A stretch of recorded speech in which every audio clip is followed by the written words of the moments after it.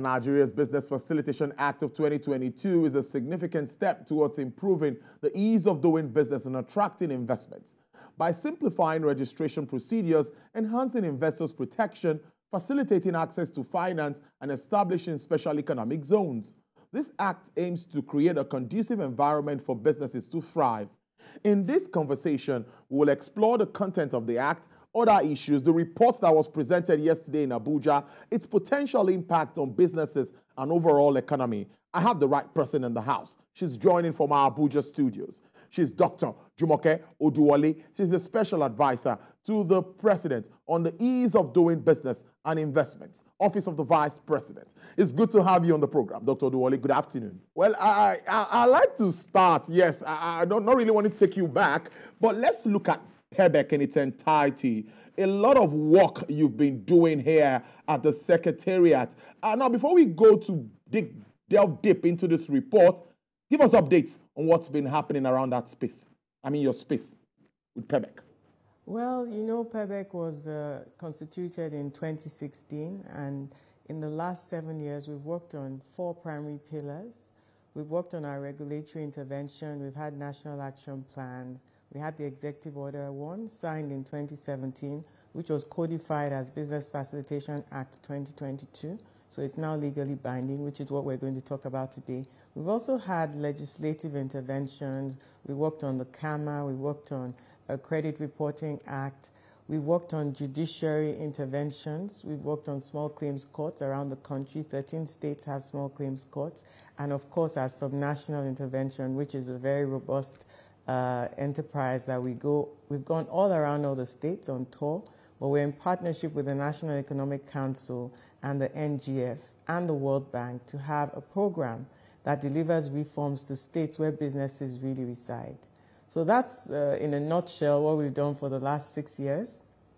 Strategic communication is one of our biggest pillars because we know that whatever we do, if small and medium-sized businesses are not aware of the reforms, whether it's from regulatory starting a business to NAFDAC to paying taxes, trying to use automation to reduce the cost and time of doing business and to make sure that it's more transparent, websites are up to date, the costs of regulatory compliance is well known, um, to all the other interventions, over 180 reforms.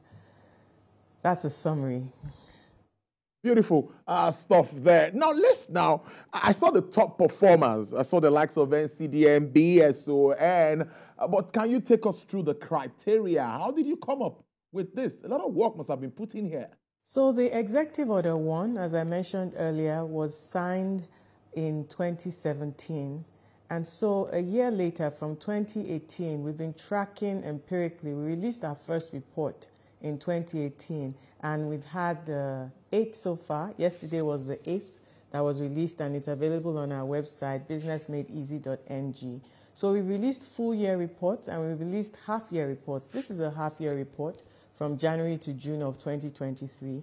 It helps the ministries, departments, and agencies, the priority PEBEC ones that we work on, 53 of them, 54, um, we're tracking those agencies that are business facing.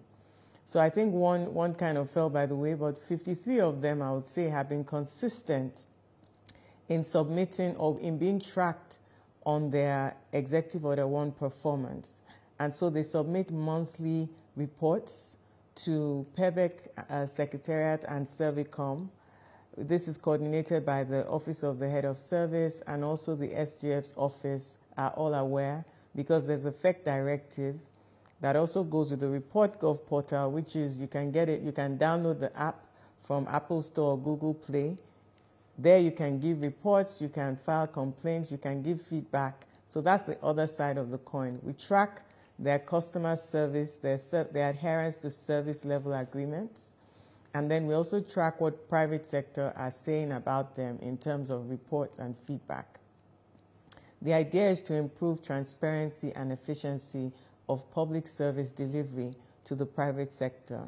So uh, we believe what gets measured gets done. We give out the half year report so that agencies have an opportunity to ramp up if they haven't been submitting their reports. I mean, I could just show you any agency that doesn't submit their report kind of gets a red And so the agencies that, that submit their reports get the green, depending on the percentage, and the amber. So the more consistent you are cumulatively. So, like I said, this is the eighth report, and it speaks to the diligence of the public and civil servants in these 53 ministries, departments, and agencies on submitting a monthly report with a rigorous methodology that says how are you adhering to timelines.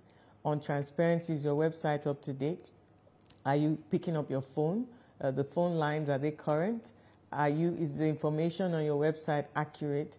If you have a change, is it updated? Are you responding to your customers? So it's on customer service, it's on adherence to your own service level agreements. We don't judge them on any criteria that they themselves did not say it takes five days to get this permit. So when they submit their monthly reports to us, they have to give us the names of some of their customers, their users, as submitted under the under the intervention. And the team then calls some of them random checks to say, indeed, is this information correct? And then we've had situations when they say, oh, yes, that was fantastic. And sometimes they say, no, that never happened. And then we, we adjust their, their ranking. So some agencies have been consistent and are getting better and better. We also track the agencies that are most improved. I noticed like NOTAP, uh, FIRS, some of the agencies that are most improved in this particular intervention, NERC also. Some agencies like Nigeria Local Content Development Board have been very consistent over time in adhering to their own service level agreements. So it's just a way to make sure that the public and civil service are more efficient and more transparent. And then the report gov is the opportunity for private sector to file their complaints or their, their positive affirmations and to give us that triangulation.